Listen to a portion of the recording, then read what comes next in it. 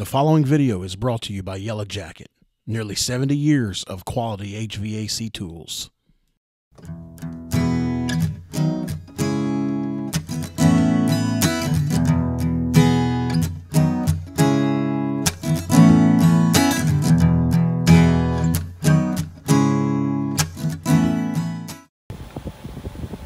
Hey guys, just a short video here.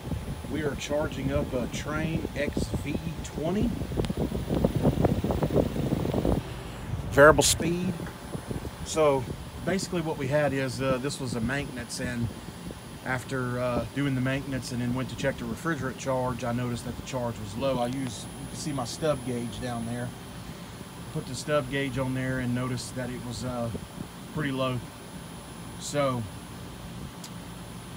I've got the unit running and we found a leak in the evaporator. This is a TAM 8 air handler.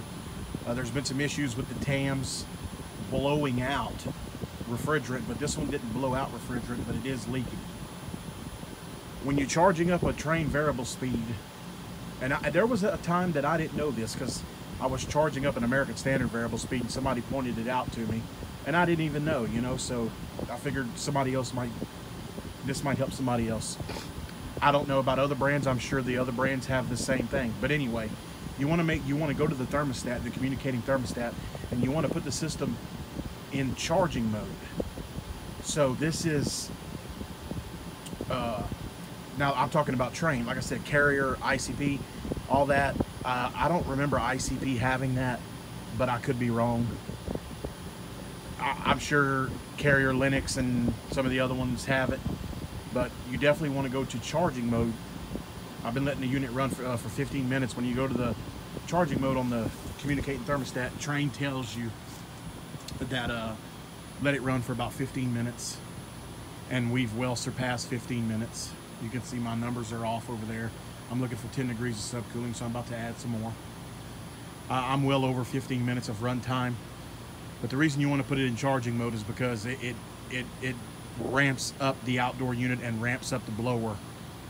I think it ramps up the blower to like 85% and then it ramps up the outdoor unit to 100%.